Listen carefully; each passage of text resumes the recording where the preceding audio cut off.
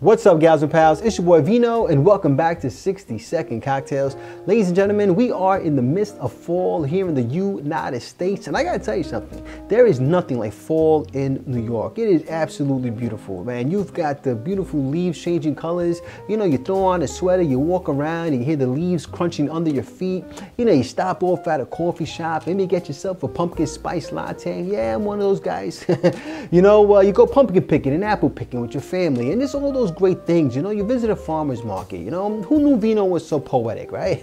but listen, guys, I really do love the fall. And one thing I really love is fall flavors. So today we're gonna make three cocktails using a spirit that is perfect for the fall, and that is apple brandy. Now we're not gonna use just any apple brandy, we're gonna use something called Calvados. Now Calvados is an apple brandy that is made in the Normandy region of France, but if you don't have Calvados, you have something like Applejack or some other kind of apple brandy, you should absolutely feel free to use that in place of Calvados. You know, listen, every apple brandy uses different apples, but in general, you should get the gist of the cocktail, right folks? So make sure you stick around because we are gonna boogie down.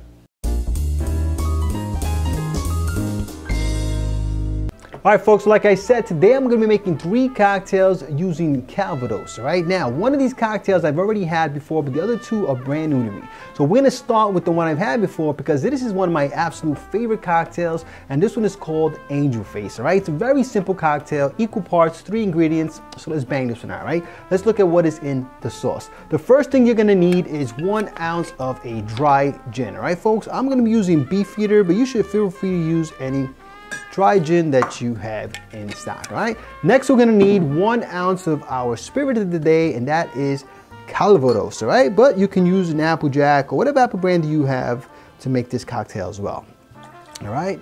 Then we're gonna do one ounce of an apricot liqueur. I'm using Luxardo, but like you know it says, use what you got, folks, all right? So that's one ounce, all right? So that's very simple, only three ingredients one ounce each. You can't go wrong, right, folks? Now I'm gonna take my glass out, just put that to the side, and I'm going to grab some ice.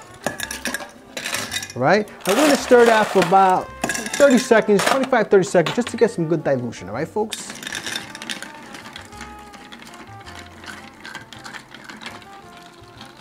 All right, folks, I think we stirred that up enough. Let me give that a little taste. Oh, so good. I love this cocktail. All right, now, like I said, I'm gonna get, I'll get my glass out. I have it already set to the side. And we're just gonna pour that into our coupe here. There you go. Got a beautiful straw color. I mean, it is a pretty looking cocktail. It has a great nose as well. Smells really good. And then what we're gonna do is we're gonna garnish that with a little orange peel. All right.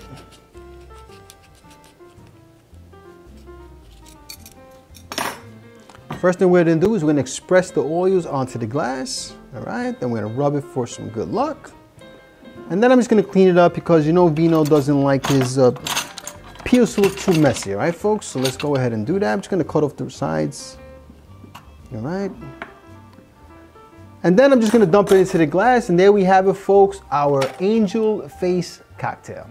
All right, so you guys know the drill. I'm gonna put that cocktail to the side. I'm gonna try all three of them out at the end of the video, all right? Now, the next cocktail we're making is called Fallen Leaves, all right, folks? Now, the first thing we're gonna need is three quarters of an ounce of our spirit of the day, uh, Calvados, all right?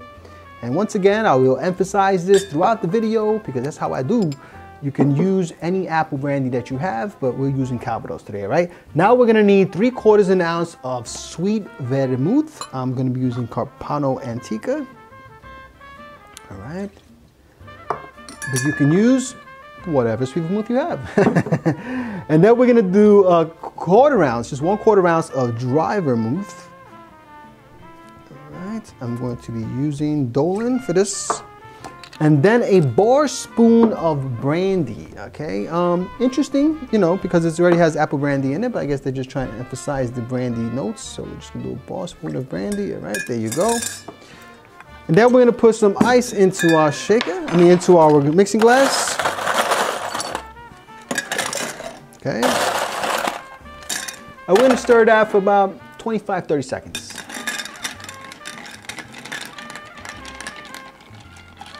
All right, folks, I think we stirred that up enough. Let me give it a little taste. pretty interesting. Tastes like it might be quite delicious, right, folks? So let's go ahead and get our glass out. I'm gonna be serving that in a Nick and Nora. Get my julep strainer. Let's pour it into the glass. All right, another pretty color here. I mean, Vino loves his stirred cocktail, so you know, I always love the way they taste. I love the simplicity, but the complexity at the same time. I love it. All right, now we're gonna go ahead and garnish that with an orange peel, just like the last, uh, just like the last time. All right, there we go. So let's express the moyus onto the glass, onto the drink, and then we're going to rub the glass, clean up the peel. All right, and then we are going to dump it in, and there you have it, folks, our fallen leaves cocktail. All right, folks, now it is time for our third and final cocktail, and this one is called Le Sang Jaune, and I believe that means the yellow blood. All right, folks, let us look at what is in the sauce, all right? The first thing we're gonna need is an ounce and a half of our Calvados. All righty. I gotta tell you, I'm loving all the apple scents in the, uh, in the, in the, in the the apartment right now. It smells so good, you know. Um, now the next thing we're gonna do is a half an ounce of our dry vermouth. Right, this is probably the most I've used dry vermouth in a long time, two cocktails. then we're gonna do a half an ounce of elderflower liqueur. So this will be interesting, the elderflower with the uh, apple brandy. You know, we should get some big fruity, flowery flavors going on here, all right? So again, that's a half ounce of elderflower liqueur. Then we're gonna do uh, something that's really interesting and it's gonna, I really imagine, add some complexity to the cocktail. And we're gonna do uh, a bar spoon of uh, gentian liqueur. I'm gonna be using Suze. All right, so just a bar spoon of this stuff. Cause you know, this stuff is pretty potent and it can overpower a cocktail. So we're gonna just do a bar spoon. All right, there you go. But should add some nice complexity, some earthiness to the cocktail to go along with the apple flavors and the and the uh, um, floral flavors. You know, should make for some interesting stuff. All right, now what we're gonna do is we're gonna go ahead and we're gonna do an absinthe rinse on, rinse on our glass. All right, I'm gonna go ahead and use my atomizer here. Just there we go. Let's see, it's another another bold flavor that we're gonna be adding to our cocktail. All right, so I'm gonna set that to the side while I stir my drink. All right. And as usual, we are gonna stir that for about 25 to 30 seconds.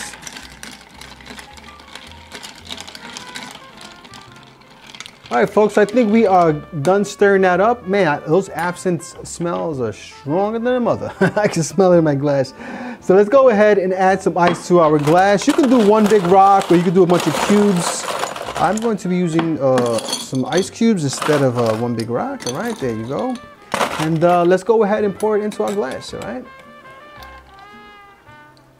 There you go. Again, a beautiful color, nice straw color, nice golden hue. Right, and then we're gonna go ahead and garnish that with another, that's right folks, another orange peel. Right, I'll make this one a little extra long, there you go. And then I'm going to express my oils onto the glass. Rub it for good luck. And do the whole cleaning the thing for the drink. All right, there we go. Make, make some edges on this one, there we go, beautiful. Now we just throw it in the glass, and there we have it, folks. Our Le Sang Jaune, something like that. I'm sure Rob from Rob's Home Bar will correct me. all right, so here it is, our three Calvados cocktails. Let's give all these bad boys a sippy sip, starting with one of my favorite cocktails of all time, and that is called the Angel Face. Cheers. Mm, right the nose, beautiful nose. Yeah, oh God, that is a fantastic cocktail. For me personally, that's like a 9 out of 10, you know, almost a 10. I mean, it is such a delicious cocktail. The apricot and the um, um, apple notes really work so well together. I mean, and the gin adds just enough of those botanicals to add a little more complexity to the cocktail. I mean, I honestly love this cocktail so much. And this is one of my favorite fall cocktails. And I'll have a few of these throughout the season and stuff like that because they're just so delicious. right, folks? Now, let's go ahead now and try the Fallen Leaves cocktail. Oh, very nice nose in this as well. Mm, very good. It's, it's very similar to a Manhattan. I mean, I think when we look at the cocktail, look at the recipes here, it's kind of like a brandy Manhattan. Um, the dry vermouth doesn't add too much. It's uh, it's it's got more of a split base between the Calvados and the sweet vermouth, you know. So you're getting kind of like a perfect Manhattan using brandy, you know, whatever you want to call it. All right, folks, so very good, very delicious. You know, the Manhattan is one of my favorite cocktails. Um, so this is gonna be a little more on the vermouth side, so it's gonna be a little easier probably to digest than a uh, Manhattan, which is, which at least if you do my specs, it's gonna be a little more heavier on the booze, on the, uh, on the whiskey. So with this one being kind of half and half, it's a little more easier to drink, a little, but with not adding too much complexity, you know what I'm saying? Now let's go ahead and try Le Sang Jean or something. I can't get that word right, but anyway, cheers. All right, so right in the nose, you're not getting the uh, the Suze, which is good because Suze, like I said, very overpowering. Good stuff, but can be overpowering. Cheers. Oh, hmm, this is interesting. That's good. Very easy drinking. I mean, that is like, what are we talking about here? We got Calvados, Dry Vermouth, Elderflower. Yeah, I mean, I, I shouldn't be too surprised. I mean, it is very, very easy drinking. Not too much complexity, very light. Um, you know, you're getting definitely those floral notes from the elderflower that are really blending well with the Calvados. I think that they really help kind of brighten the cocktail up a lot. Um, yeah, this is a very, very easy drinking cocktail. Hmm. Yeah, I'm not looking for anything too, sweet too, you know, on that sip, I did pick up a little more of the Suze, which I was wondering where, where it went. It's there, it's really on the back end of the cocktail, you know? So anyway, look, all three really good cocktails. They're all very easy drinking, um, very, you know, light, easy drinking cocktails, which I think would be nice on a fall day when you just want to maybe relax with a sweater and, I don't know, watch uh, watch something on TV with your wife, a little Netflix and chill, you know what I'm saying? Anyway, folks, look, let me give this bad boy one more sip here I just love it so much. Ah. Anyway, guys, I hope you're enjoying your fall so far, and uh, you hopefully you make some of these cocktails. If you like this video, please press like, please subscribe, and please share with your family and friends, folks. Come on, it's the season of giving, right? Or is that next month? That's Christmas, but still, give it anyway. No, it's Thanksgiving, so give it, share this with people.